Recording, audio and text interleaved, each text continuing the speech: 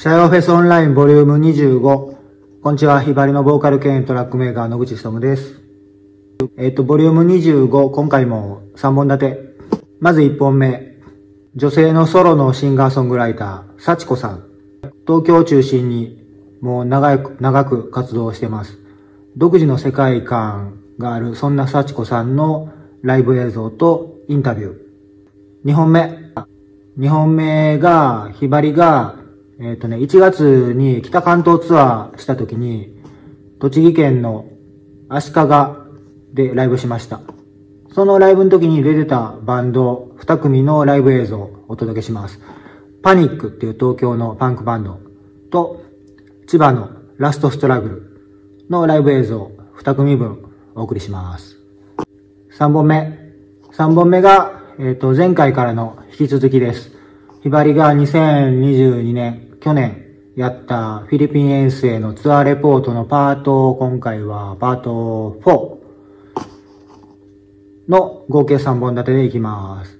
じゃあ、シャイオフェスオンラインボリューム25、どうぞ。幸子さんです。こんにちは。こんにちは。ありがとうございます。あの記憶が正しければ「チューリップの約束」というシングルレコードですやっぱその頃流行ってたんですか？そうですね。チューリップとかカイバンドとかが流行ってた時期ですかね。はい。ウィップさんカイバンド好きですよね。あそうですね。そうですね。えそれはたまたま。あの子供の頃からあのギターに対してすごい強い憧れがありましてあの高校生の頃にあのエレキギターがこう出始めてあのお店に行くとこう並んでてで店員さんがこう歪んだ音でガーって弾くのがすごいこうかっこいいって感じでこう学校で一人で騒いでましたらあのなんか文化祭であのバンドでライブをやるっていうことであの声かけてもらいましてでそれからあの、まあ、エレキギターも持ってなかったんであのアルバイトしてお金貯めてでエレキギター買ってで毎日練習してで一緒にやらせてもらいました。で歌も歌わせてもらってそれが最初のステージでそこで味を占めましたあのまず遠藤光郎さんにすごい衝撃受けましてでその後ゾアとかあのトランスレコードのゾアとかルインズとかその辺りですね、はい、あんまり詳しくスターインで入ったんじゃなくて光郎ソロですかあの遠藤光郎ゲイノーブラザーズっていうそのスターリンの後ぐらいの時期の、うんえその辺からちょっと友達に勧められて聞いたらすごいハマってしまって、はい、そこで衝撃を受けました。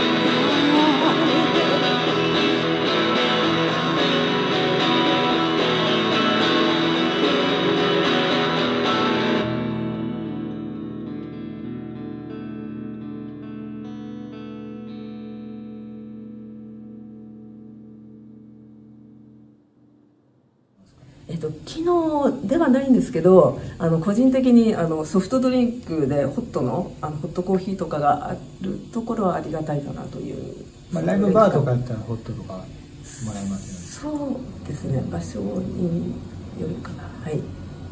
なるほど。はい。あの目標はですねあの何がどうなりたいっていうのはそんなになくてですねあのとにかくこう自分の曲作りと歌と演奏に関してこう自分の最高を極めたいというのがありましてもうまだまだなんですけどでもこれゴールがないんであのやればやるほど問題点がこう後から後から見えてくるんで、まあ、生きてるうちは一生追い求め続けるかなと、はい、思います。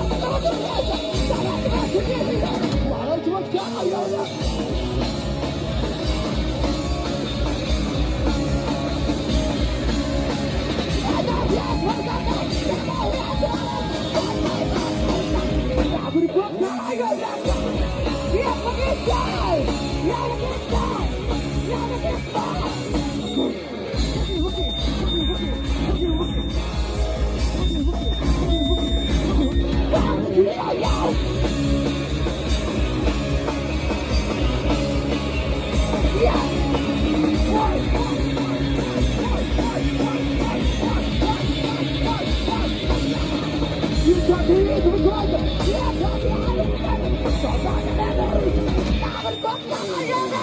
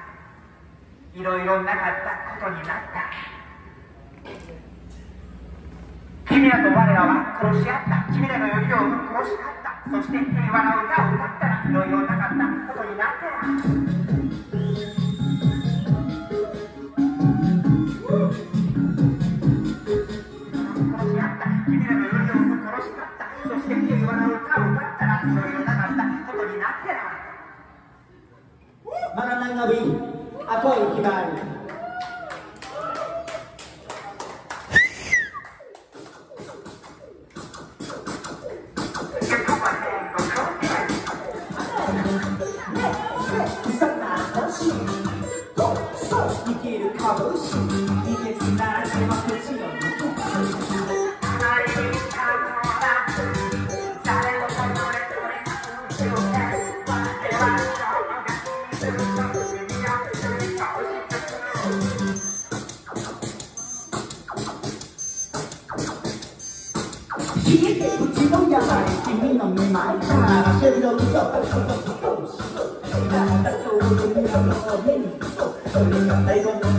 なん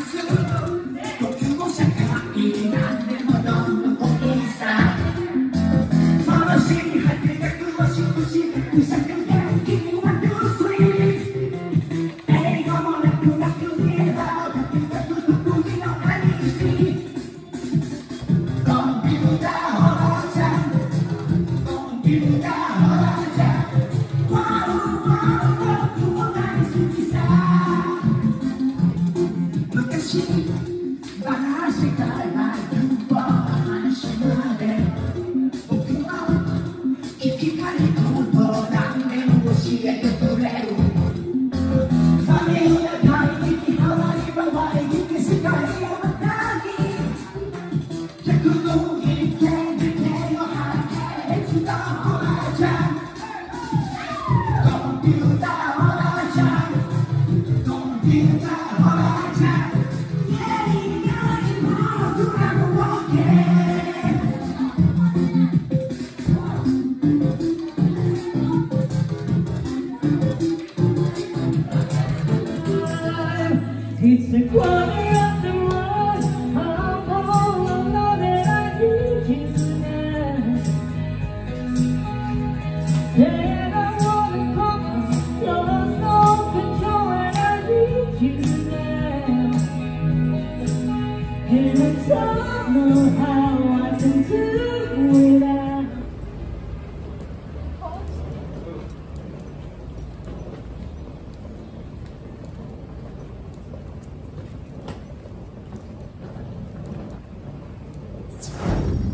シャイオフェスオンラインボリューム25いかがでしたか？